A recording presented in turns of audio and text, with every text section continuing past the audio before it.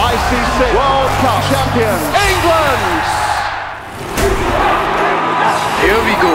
India versus England warm up.